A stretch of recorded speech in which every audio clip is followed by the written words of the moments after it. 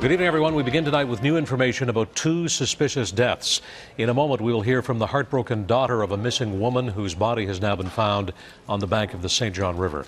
First, to the shocking execution style killing of a man whose body was dumped at the side of a road outside Dartmouth. Tonight, the police say the man is James Alexander Sandy Lyle, and they say there is no doubt he was murdered. Police are still on the scene at this Dartmouth home more than 24 hours after one of the owners was murdered.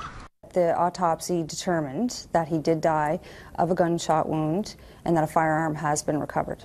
The body of 55 year old James Alexander Lyle, known as Sandy, was dumped on the side of the road in Montague Gold Mines, a community just outside of Dartmouth. He was found Sunday night. Sources say he was shot in the back of the head. Court documents show Lyle had many run ins with police over the years. Provincial records show a conviction related to marijuana possession in 2003. And sources say he was investigated during a major police sweep called Operation Hammer back in 2001. He was picked up along with members of the Halifax's Hells Angels. Police say when they searched this home behind me in Dartmouth, they found no evidence of drugs. The home is owned by Sandy Lyle and Carla Balsor.